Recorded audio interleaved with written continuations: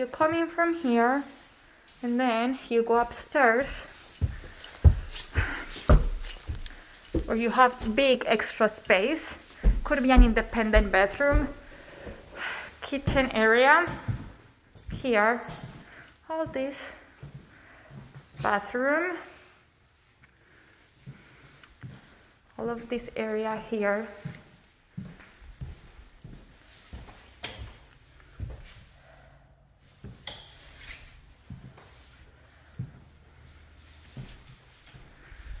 Even an independent deck.